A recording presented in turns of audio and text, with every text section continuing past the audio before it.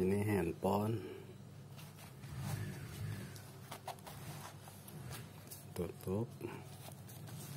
Ini buat kartu nama satu.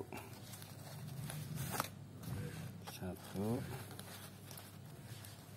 Dua. Tiga.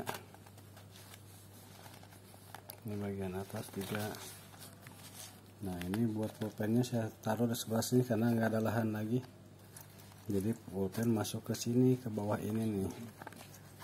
Nah bisa masuk. Nanti bisa dilihat realnya. Jadi saya kasih satu juga buat pulpen. Nah ini buat saku-sakunya itu. Nah ini ada pinggir-pinggirnya.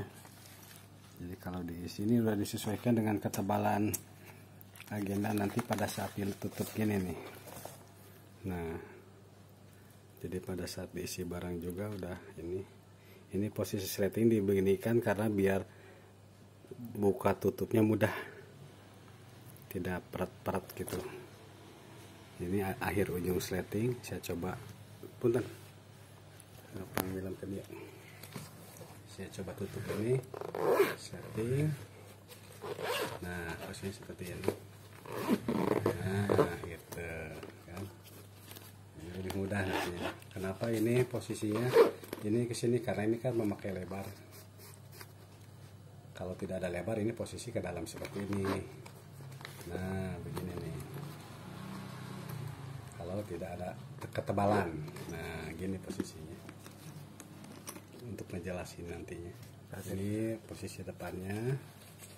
Seperti ini. Ini belakangnya jala dihilangkan. Nanti bisa dicek dulu barang sudah siap diambil. Terus terus